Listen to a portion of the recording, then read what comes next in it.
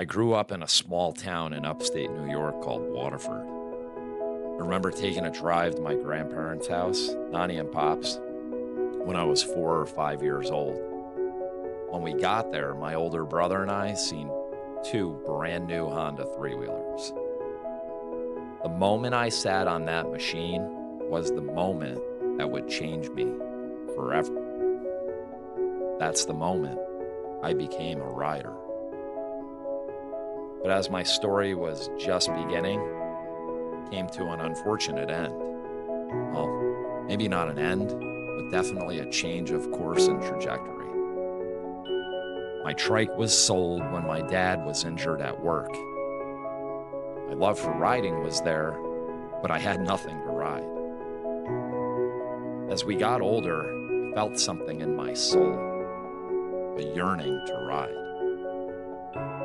My older brother started racing dirt bikes. I was right there in the pits, breaking in new bikes for him and his friends, watching Jean Michel Bayle on TV. It was a different time back then. Never got on the motocross track. My brother cased the triple and broke his femur. seemed like the thing that would never come back into my life riding. Couldn't let that happen. Began chasing my dream to ride one spring day when my dad gave me his motorcycle.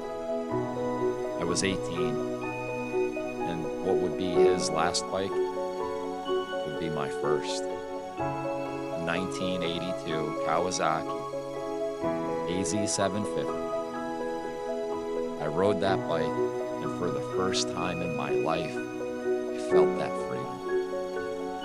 You know the feeling. Street Rider was born. My story was just beginning.